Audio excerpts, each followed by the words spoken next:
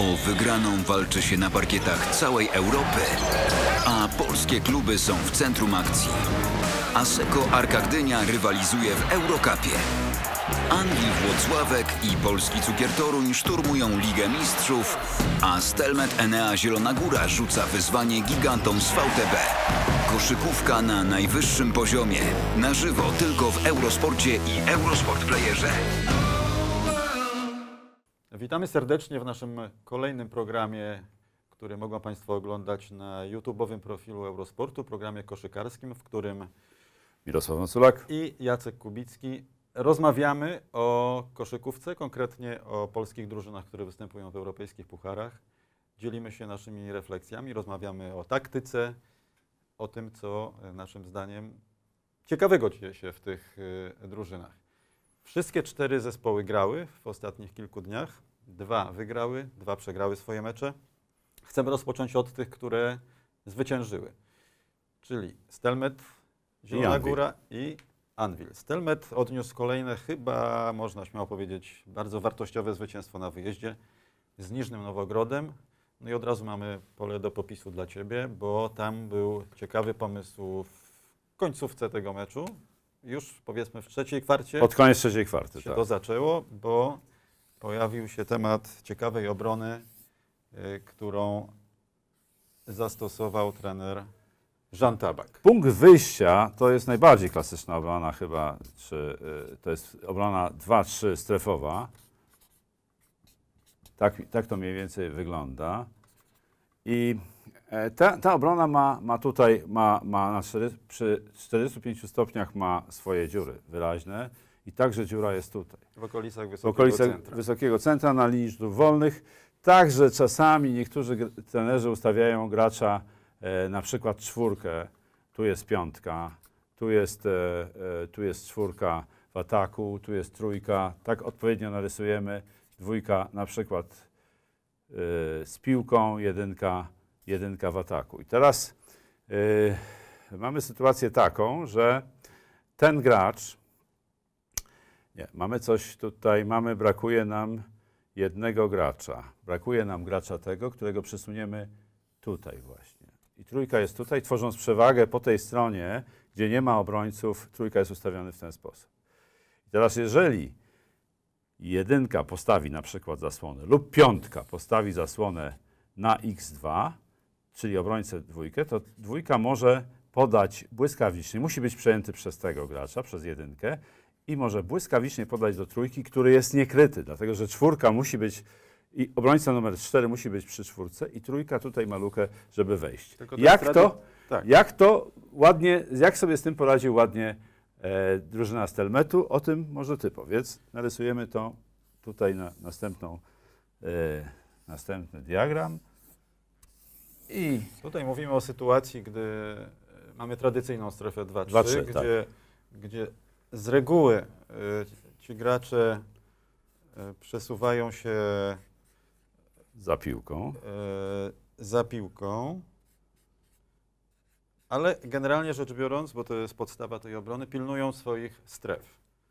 Tej, tej, tej i Tak tutaj. jest. Każdy ma jakiś odcinek boiska do pilnowania. Tutaj wyglądało to w układzie wyjściowym tak samo, ale gdy gracze ataku zaczynali się ruszać, zajmować jakieś tam pozycje na boisku, to ta obrona zaczęła się dopasowywać do, do, do ich ustawienia. O na czym tym polegał cały myk tej O czym mówiliśmy poprzednio, właśnie to magiczne słowo match-up, czyli dopasowanie, które występuje Tak właśnie jest. szczególnie w obronie strefowej. I chyba, takie mamy obydwaj przynajmniej zdanie, tym Stelmet wygrał w dużym stopniu.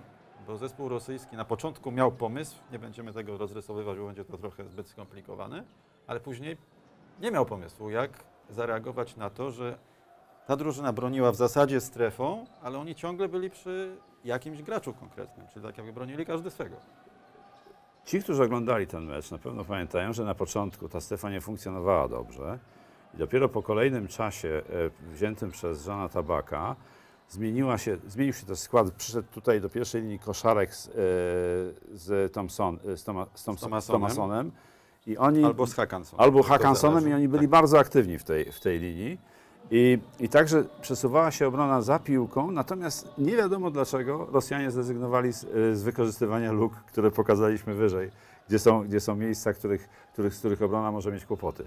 Natomiast aktywna strefa, aktywna bieganie właściwie, z tej- to nie było nic innego. Tutaj w tej linii obydwaj gracze biegali. Więc to jest też bardzo ciekawy aspekt, że e, oni świetnie ze sobą współpracowali i komunikowali się, gdzie jaki gracz jest wolny, żeby się przesunąć i go pilnować. A druga rzecz, którą mi zaimponował przede wszystkim Łukasz Koszarek, który fenomenalnie bronił w sytuacjach jeden na jednego gracza z piłką. On podejmował walkę i to było też ważne, że oni na obwodzie robili wszystko, żeby nie przegrać sytuacji jeden na jednego i nie wpuścić gracza atakującego do środka strefy, no bo wiadomo, że wtedy może się zrobić kłopot. Mało tego, jeszcze e, Tabak wymyślił coś takiego, żeby gracza z piłką atakować już na połowie e, obrony przeciwnika, żeby opóźniać strefę, co jest jeden z nich był jeden z nich był bardziej w stronę prawie, środka prawie na połowie boiska. I tam już zaatakował gracza z piłką, a potem się dopasowywali do tego ustawienia wyjściowego. I ostatnia rzecz w tej obronie, która jest, e, e, była taką obroną trochę niekonwencjonalną. Bo były- właśnie dopasowywała się. Tak, były zagrania, które raczej chyba nie były przewidziane, ale które w praktyce okazały się fenomenalne i skuteczne. I taką akcją popisał się Tomason. Prawdopodobnie chyba to był Tomason. Tomason. Tutaj mieliśmy gracza e, ataku, piłką. powiedzmy, z piłką czwórkę. Tutaj był e, Obrońca e. Jarosław Zyskowski, który przegrał sytuację jeden na jednego, ale raptem gdzieś z tego miejsca mniej więcej ten obrońca znalazł się tu i skończyło się to blokiem. zablokował rzut. e, W bardzo ważnym momencie, Chyba Luisa. e, gdy wynik był bliski remisu, akcja budująca zespół Stelmetu mentalnie, e, emocjonalnie i z kolei bardzo dołująca dla gospodarki. To było w bardzo ważnym momencie, bo to było w granicach remisu, albo jednym punktem prowadzili już e, e, Zielonogórzanie. I ta akcja moim zdaniem już zupełnie zdeprymowała e, Rosjan. Y, Drugi mecz na wyjeździe wygrany przez Stelmet y, w dość takich okolicznościach y, dramatycznych, wyrównane spotkanie w końcówce. I oni po raz drugi wytrzymują presję, bardzo dobrze funkcjonują, widać, że są zespołem. Y, i tym wszystkim, tak to przynajmniej wygląda, bardzo ładnie dowodzi Jean Tabak. Tak, tutaj to, co, to, co imponuje w, w ostatnich meczach, e, tych siedmiu wygranych e, w, wydaniu Stelmetu, to jest to, że oni grają w zasadzie konsekwentnie, mają bardzo, bardzo krótkie przestoje. Każdy zespół ma kryzysy w czasie, w czasie meczu, ale oni bardzo szybko z tego wychodzą i wracają do swojego rytmu. Te, to tajemnicze swoje granie, które nie wiadomo co znaczy, ale tak używają i komentatorzy, i trenerzy, gramy swoje. No. To jest coś, co, czy, nad czym się nie będziemy rozwodzić, niech będzie to swoje. grają swoje zdecydowanie. Ale Grają oni swoje. właśnie te, to swoje grają przez, grali przez cały mecz. Od Ostatnia rzecz przy Stelmecie, która mi się też bardzo podoba, to taktyka, yy, która w różnych momentach meczu różnie wygląda w zależności od sytuacji. I oni są na to przygotowani. Początek meczu, dużo szybkich ataków, bo była ku Tak. temu sposobność. Później ten temat się skończył, ale pojawił się inny, czyli możliwość grania do Gordona w polu 3 sekund, który w pierwszej połowie zwłaszcza zdobył mnóstwo punktów yy, pod, pod obręczą, w polu 3 sekund. Dalej był z tym trochę kłopot. Pojawiła się następna opcja. Właśnie ta. Oni byli ciągle przygotowani jakby na inne rozwiązanie. I w ataku również kreują pozycję do gry jeden na jednego, przerzucając piłkę z jednej strony na drugą stronę bo- boiska, ale o tym bliżej powiemy, omawiając grę w ataku Podgoricy. Tak jest, w meczu z Arką. Ale to za chwilę. Najpierw Anvil, który zagrał mecz y, bardzo emocjonujący do samego końca, wygrany jednym punktem na wyjeździe z Bandirmą, y, dobrym tureckim zespołem. No i tam też mieliśmy bardzo ciekawą końcówkę, bo trener Igor Milicic, jak wiemy, zwolennik obrony strefowej. 1-3-1, nie 2-3. Raptem w ostatnich dwóch, może trzech minutach zmienił tę obronę na każdy swego i świetnie na tym wyszedł. E, Wyciągnął wnioski z meczu z Radomiem, kiedy do końca bronił Stefan 1-3-1 przegrał. i przegrał. I właśnie z rogów boiska, to o czym to pokazywaliśmy ostatnio e, przy obronie strefowej 1-3-1, padły trzy celne e, strzały ze strony Radomia. To pozwoliło im dogonić i w efekcie przegonić Anwil, ale to było w przegranym meczu, natomiast w wygranym było znacznie lepiej. Igor Milicic jako coach. Wcześniej widzieliśmy go sytuacjach chociażby w Jerozolimie, gdzie był bardzo sfrustrowany, zdenerwowany, bo, bo ten mecz był po prostu słaby. Tutaj e, inne podejście, bardziej konstruktywne, bardziej na zasadzie pozytywnego motywowania graczy. No, Jest piękną sprawą obserwowanie tych młodych trenerów, Sasунkiewicza, Milicicza, bo oni są młodzi, s- e, stażem. To są Cały młodzi czas. trenerzy. Cały Uczą się właściwie w każdej minucie meczu, według mnie. I to jest cudowna sprawa. Igor Milicic, który jest, e, który jest, jak mówiliśmy, trenerem systemowym, za czym kryją się różne rzeczy, ale na pewno nieustępliwość w stosunku do graczy.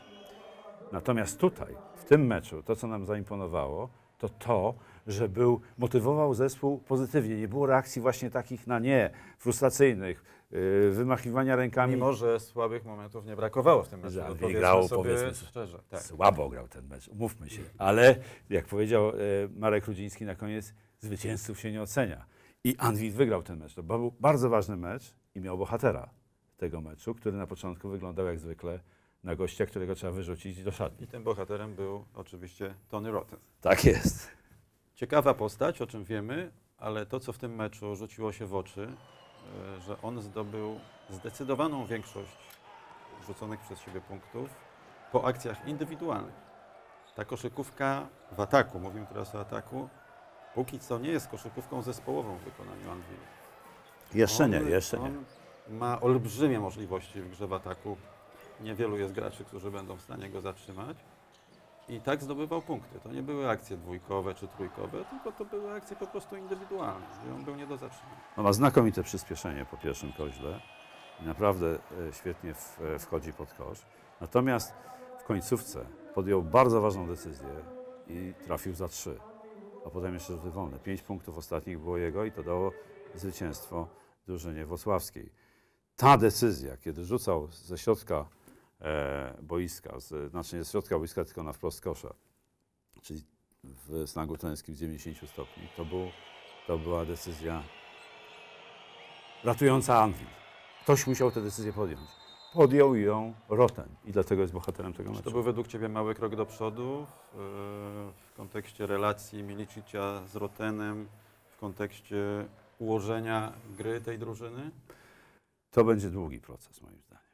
Ale dlatego, że, że, że Anvil ma e, wspaniałych graczy, ma e, graczy o, o niez- niezwykłym potencjale, ale też e, o, o dużym ego, tak to często bywa. I Igor Milicic musi to wszystko układać, dopasowywać, zjednać. Polacy, mam wrażenie, że drużyna jest podzielona jakby na, na dwa obozy. Mogę się mylić, że Polacy i Amerykanie trochę osobno.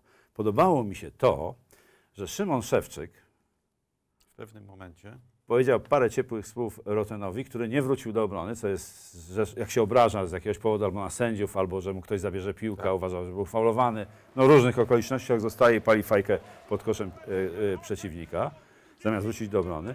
Szymon Szewczyk mu powiedział parę ciepłych słów i nie zrobił tego Igor Milicic. Milicic, widziałem ten moment.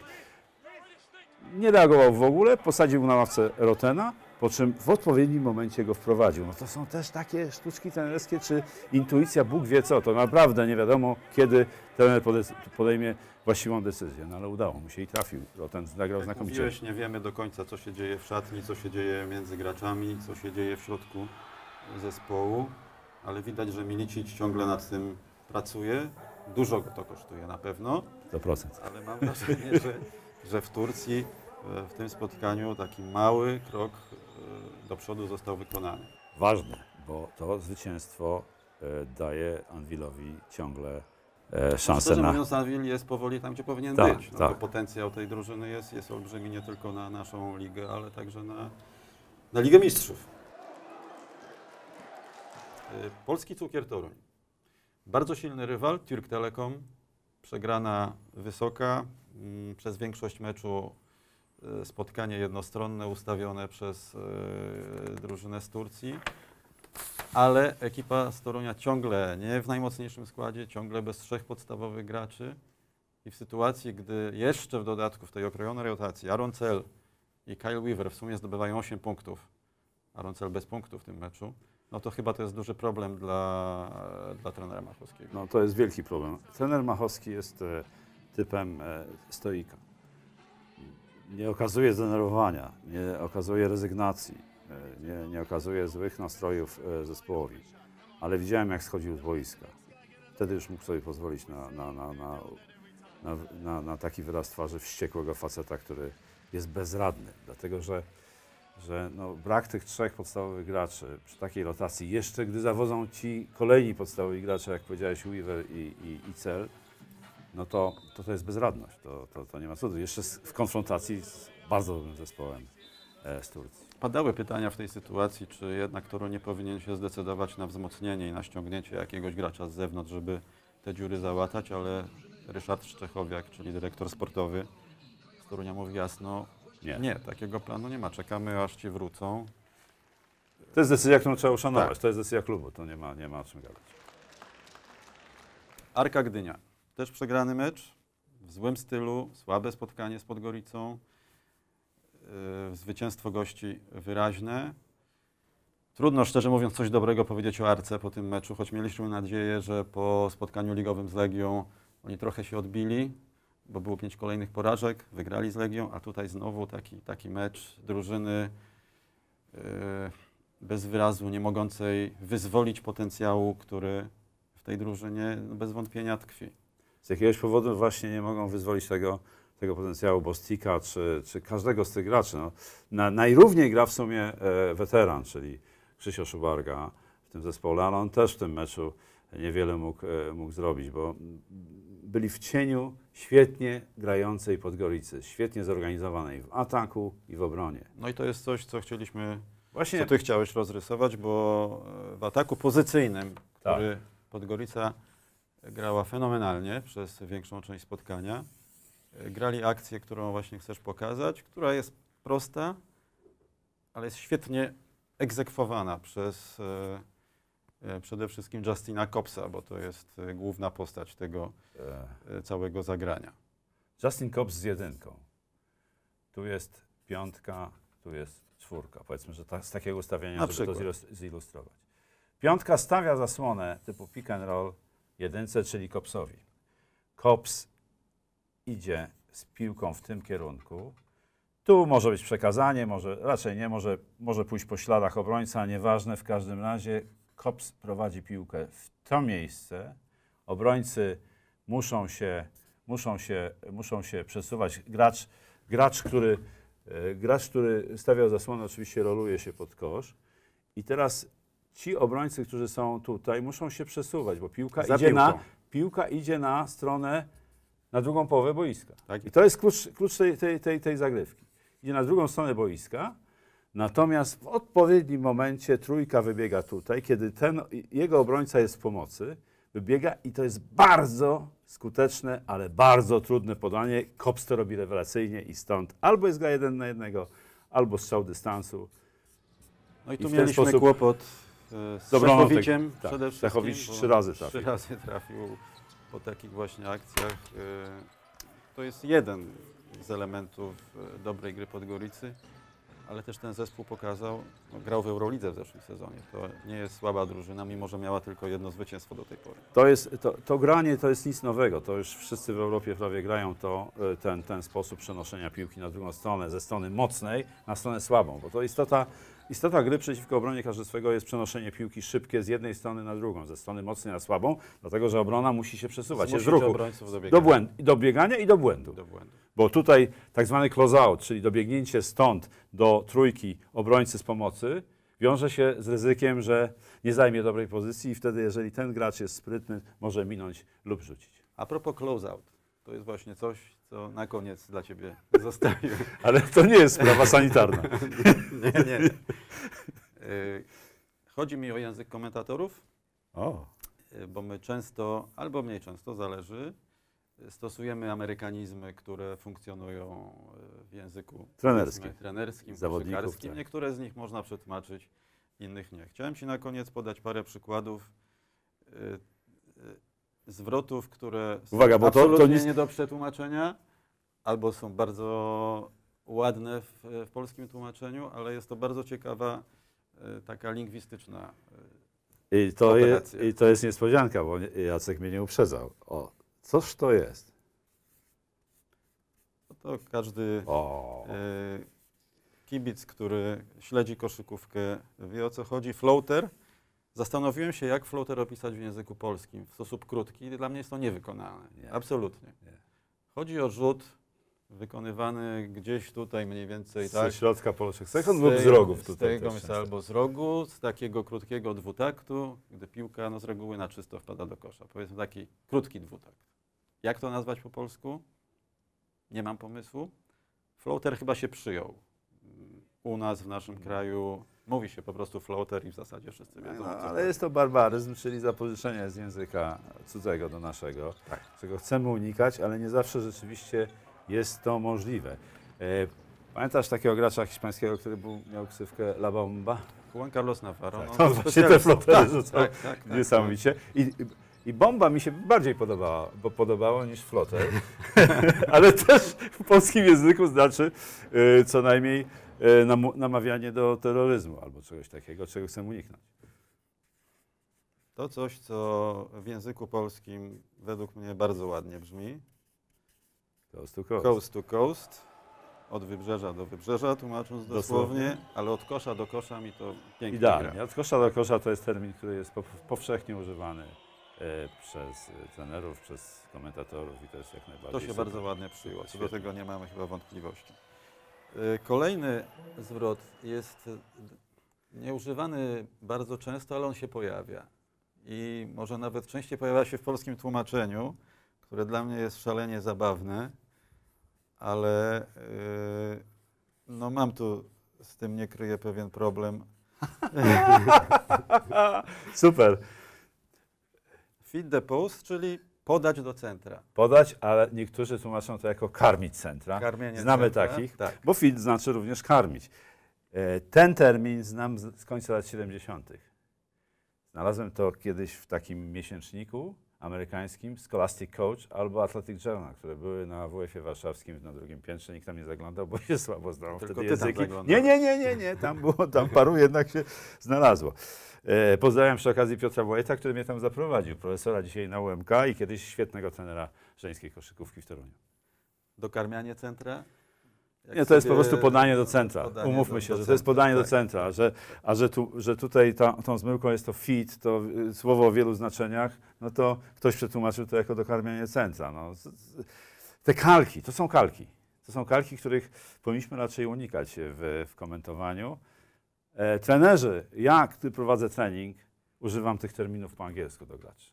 Nie, nie, nie mówię, że pick and roll, że to w jest stosunku zasłon... do graczy można. To jest tak? bardzo E, szybka komunikacja. Gdy występujesz w roli komentatora, ta sytuacja Nie. jest, jest Nie. inna. Natomiast, natomiast, y, natomiast mam, mam takie, takie czasami działa we mnie coś takiego wewnętrznego, żeby nie mówić po, tym, po angielsku, ale jednak jest tak, szybki komunikacja, tak szybka komunikacja z graczami w treningu, że jest to uzasadnione.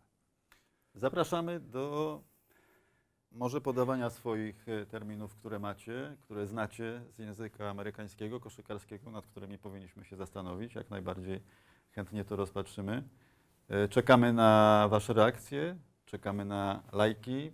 Po naszym pierwszym ta, ta, programie ta, na łapki, łapki, łapki, łapki. w górę. Tak?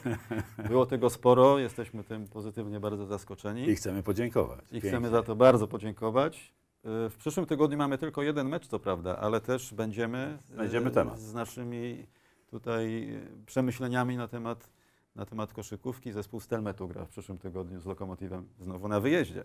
Może, może, może uda się odnieść kolejne zwycięstwo. Pozdrawiamy, do zobaczenia następnym razem. Do zobaczenia.